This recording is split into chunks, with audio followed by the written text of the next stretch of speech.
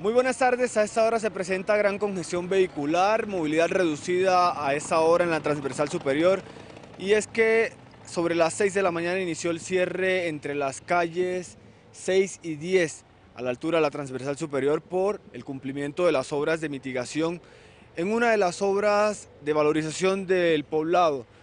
Recordemos que hace algunos días uno de los talud de esa obra se dio, hubo un deslizamiento y por eso se adelantan unas obras para poder eh, arreglar una parte de esa obra. A propósito, los conductores que se dirigen de sur a norte deben tomar, son desviados por parte de la Secretaría de Movilidad, han dispuesto dos agentes para que sean desviados por la calle 6 y así poder llegar a sus diferentes destinos, sobre todo los que van hacia el norte y centro de la ciudad. Es complicado para uno como mensajero porque tiene uno que dar una vuelta demasiado extensa. Pero es bueno porque el beneficio este del puente que va a quedar nueva, entonces es un beneficio también.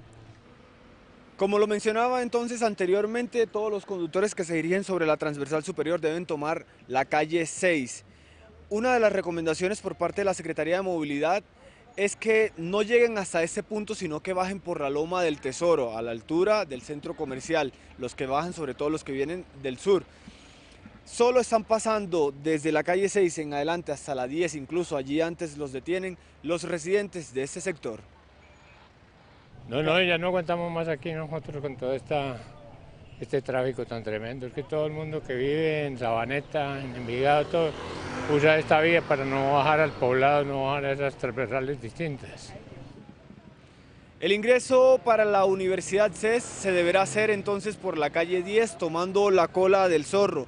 Para ingresar a la institución educativa, al Colegio Merimont, se debe hacer tomando la transversal superior en sentido norte-sur y al final se debe salir por la calle 10. La vuelta es preocupante, pero la cantidad de vehículos para darla es mayor. ¿Mucha congestión en esta zona? Eh, demasiada, demasiada. El poblado tiene un problema de movilidad tremendo y más con estas vías cerradas. Recordemos entonces que la transversal superior estará cerrada en su totalidad desde la calle 6 hasta la calle 10 y este cierre se extenderá hasta la medianoche del próximo domingo 11 de septiembre.